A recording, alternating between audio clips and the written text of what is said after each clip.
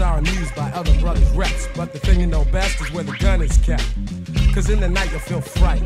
And at the sight of a four-fifth, I guess you just might wanna do a dance or two.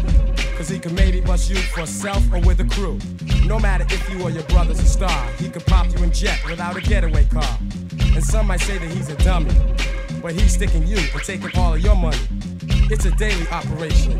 He might be loose in the park or lurking at the train station. Mad brothers know his name, so he thinks he got a little fame from the stick-up game. And while we're blaming society, he's at a party with his man. They got the eye and the gold chain that the next man's wearing. It looks big, but they ain't staring. Just thinking of a way and when to get the brother. They'll be long gone before the kid recovers. And back around the way, he'll have the chain on his neck, claiming respect just to get a rep.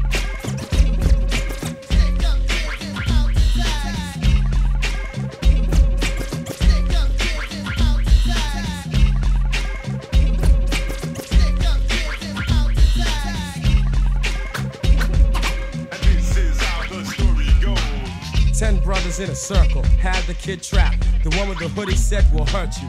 If you don't run out your dues and pay, give up the Rolex watch or you won't see another day. See, they were on the attack, and one said, Yo, you wanna make this to a homicide rap? Make it fast so we can be on our way. Kick in the rings and everything, okay? The kid was nervous and flinching. And little Shorty with the 3-8, yo, he was inching. Closer and closer, put the gun to his head. Shorty was down to catch a body instead. Money was scared, so he panicked. Took off his link and his rings and ran frantic. But Shorty said, nah, pull the trigger and step. It was nothing. He did it just to get a rap.